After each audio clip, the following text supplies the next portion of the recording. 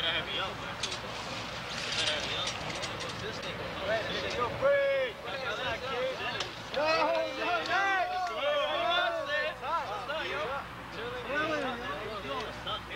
man! Y'all had to go to this club last night.